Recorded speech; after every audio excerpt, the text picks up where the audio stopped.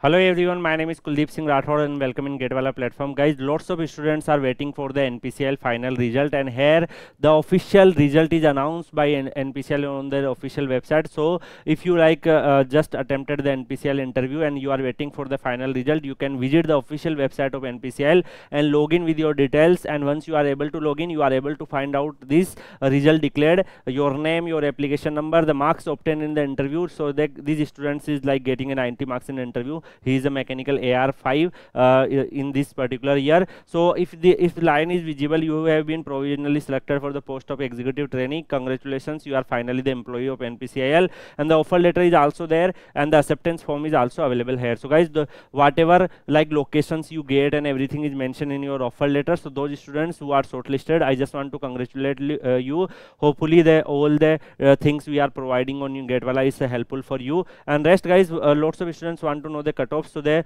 uh, as you know, like NPCIL first shortlist student uh, based on valid GATE scorecard. It means this year requirement GATE 25, GATE 24, GATE 23 students are eligible. So guys, first the shortlisted uh, shortlist student based on the GATE scorecard, and then the final selection is to solely depend on interview marks only. So how, whatever you performance you do in an interview, that is deciding factor. Even if you have all rank one or if, even if you have all rank 200, if you get a call for interview, then it doesn't matter what rank you have it is a matter only on the interview performance. So guys here if you if you talk about the mechanical interview marks uh, this cutoff is out of 100 so you can check mechanical 75 ews 70 obc sc st all cutoffs for mechanical chemical electrical electronic instrumentation civils are available. And guys lots uh, the waiting list cutoff is also there. So some of the students they put in a waiting list. So in case the first list students are not able to uh, join that time they will give the offer to the waiting list candidate. So guys you can check this. I will share these pdfs and uh, the result checking uh, checking websites on a Kuldeep sir underscore PW telegram channel from where you can check